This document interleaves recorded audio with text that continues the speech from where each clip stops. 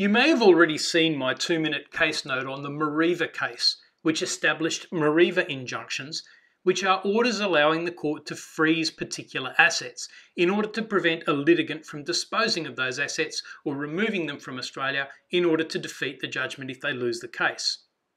A Mareva injunction is draconian in nature because it stops a party from dealing with their own property. And there's not yet a court finding against them. As a result, the courts have been fairly conservative in terms of when and how Mareva injunctions can be granted. In particular, Mareva injunctions are merely intended to freeze in place assets which might otherwise be dissipated. They are not intended to hold those assets as a security for the potential judgment. Second, the only assets that should be frozen are the assets which are at risk of being dissipated. The Mareva power does not justify a court simply requiring a party to pay into court a security against the judgment being sought.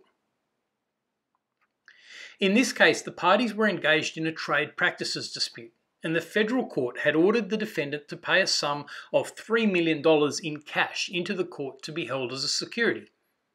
The High Court found that this went much too far.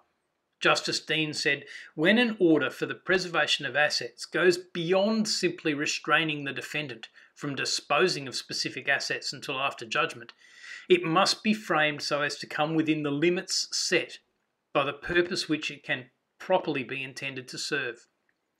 That purpose is not to create security for the plaintiff or to require a defendant to provide security as a condition of being allowed to defend the action against him.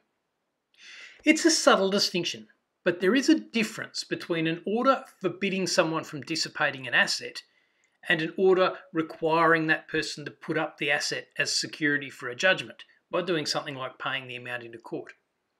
Even under the Uniform Civil Procedure Rules, a party can only be required to provide security for the other party's costs and not for the judgment itself. The takeaway message is that a Mareva injunction merely prevents the dissipation of an asset it doesn't compel the use of that asset as security for the judgment.